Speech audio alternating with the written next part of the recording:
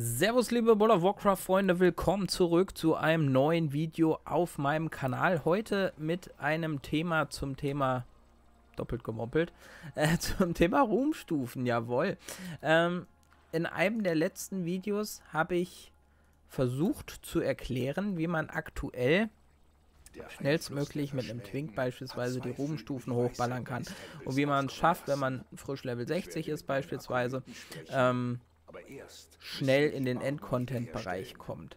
Dabei habe ich gesagt, dass ich höchstwahrscheinlich, wenn man Level 60 ist, äh, sich Gear craftet, notfalls noch was aus dem Auktionshaus holt. Es gibt jetzt 200er Gear, was man sich craften kann. Und äh, auf diese Weise dann sich in Sachen Gear auf um die 200 hochschießt mit ein bisschen Farmerei. Und anschließend hat man eben die Möglichkeit, bei Bolvar ziemlich viel zu skippen. Du musst oder du kannst die Torgast Introduction äh, Quest skippen. Du kannst äh, den Quartier-Kram skippen, wenn du einmal da warst mit einem Main. Und danach bist du eigentlich schon mitten im End-Content-Bereich. Und das hatte ich auch empfohlen. Jetzt gibt es da aber eine kleine Einschränkung, auf die mich der gute Wuti gebracht hat. An dieser Stelle, Gruß geht raus, äh, falls du das siehst. Unter welchen Umständen es doch Sinn macht, noch ältere Inhalte zu spielen. Und damit meine ich die Pack-Kampagne. Ich bin jetzt hier mit meinem Hunter, den habe ich von Nightfay auf Kyrian jetzt wechseln lassen. Ähm, Gerade dabei nochmal die Pack-Kampagne zu spielen. In einem meiner letzten Videos hatte ich gesagt, das würde ich nicht machen, ähm, weil Pack-Kampagne sehr lang teilweise, sehr nervig. Das Gear, was ihr bekommt, ist absolut jetzt zu vernachlässigen, da ihr mittlerweile mit den gecrafteten Items besseres Gear bekommt. Also was sind noch groß die Gründe, die Pack-Kampagne zu machen? Außer, ja, was gibt es denn vielleicht ab und zu hier und da mal ein bisschen Anima oder so. Ähm, ein Punkt, den ich aber ehrlicherweise auch vergessen hatte und wo ich sagen muss, hm, da macht es doch noch Sinn, die Pack-Kampagne zu spielen. Und wo ich mir gleichzeitig vielleicht auch einen Fix noch seitens Blizzard wünschen würde. Zumindest vielleicht mit einem Patch 8.2 oder so. Du musst eigentlich die Pack-Kampagne spielen, wenn du alle Soulbinds haben möchtest. Bei vielen Charts, die ich gespielt habe, habe ich den Soulbind, den ich brauche, direkt als erstes bekommen. Zum Beispiel Nia bei den Night Fae. So, das war kein, kein Akt dann. Hm. Jetzt ist es aber so, wenn ich jetzt hier meinen Hunter spiele, brauche ich diesen Schmied Mikanikos. Und den kriege ich nur über die Pack-Kampagne. Ja. Also in dem Fall muss man dann sagen, ob man will oder nicht, wenn man dann an seinen besten ähm, Soulbind rankommen möchte, kommt man um die Pack-Kampagne leider aktuell nicht drumrum.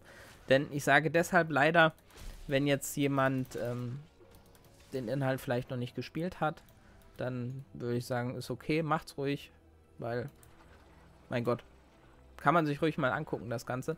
Aber jetzt halt so, ich glaube, die Kyrian-Kampagne spiele ich jetzt zum sechsten, siebten Mal oder so. Und irgendwann, weiß ich nicht. Es hat nichts damit zu tun, dass ich die, die Chose geschenkt haben möchte. Ich hätte kein Problem damit, mir den äh, den Dude freispielen zu müssen, wie jeder andere auch. Das ist vollkommen, vollkommen okay für mich.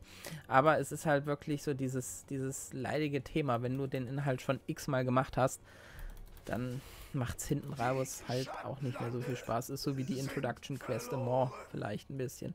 Deswegen nochmal, um auf das Thema zurückzukommen. Pack-Kampagne skippen, ja oder nein? Grundsätzlich würde ich sagen, wenn ihr möglichst schnell euren Ruhm hochballern wollt, auch wenn die Pack-Kampagne wirklich teilweise zwei Kapitel, äh, zwei Ruhmstufen gibt.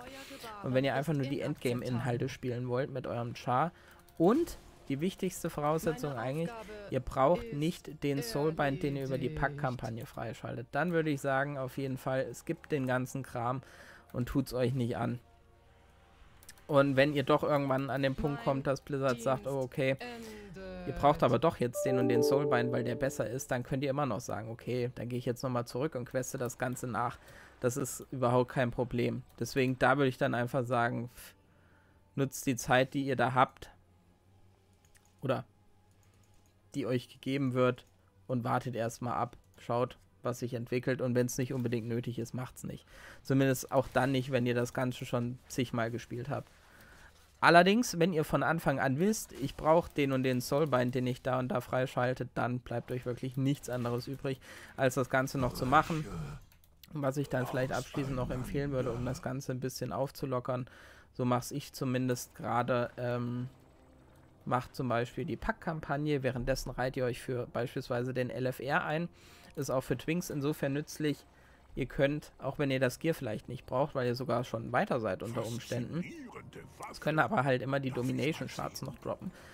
Auch für einen Char interessant, der vielleicht noch nicht in einem Normal- oder HC-Raid mitgenommen wird. Und gleichzeitig bekommt ihr aktuell wirklich bei, ich würde sagen, fast jedem Boss einen garantierten Drop für Ruhm. Zumindest bis ungefähr, was ich weiß, Ruhmstufe 30. So in dem Dreh. Und wenn ihr dann, ihr spielt zum einen die Packkampagne, zum anderen macht ihr da ein bisschen rum mit LFR und so weiter. Und dann würde ich sagen, habt ihr zumindest ein bisschen Abwechslung. Kommt voran und habt alles, was ihr braucht. In diesem Sinne, ich hoffe, ich konnte mit diesem Video nochmal ein bisschen Klarheit schaffen und euch helfen.